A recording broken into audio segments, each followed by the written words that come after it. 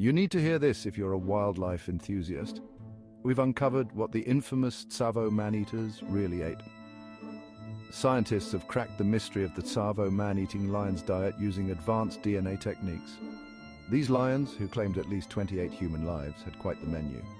New DNA analysis of hair found in their teeth revealed they feasted on giraffes, oryx, waterbucks, wildebeests, zebras, and yes, humans.